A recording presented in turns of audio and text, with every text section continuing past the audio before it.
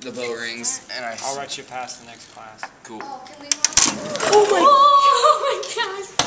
I got the idea from a magazine. I seen some demos and things like that off of uh, YouTube, and then I actually really found it in a magazine that I YouTubed it. And I said, hey, this is a good idea for the kids. Uh, learn about engineering designs and how things are structured. Uh, trying to do a real life application is what I'm looking for. Real life scenarios where when the kids graduate, they learn some things that they learn in here and apply it to the real life and real world. Next time I would definitely put more cross braces on my uh, legs and also I would probably fixed the loose ones that I found. It's kind of late though when I found them.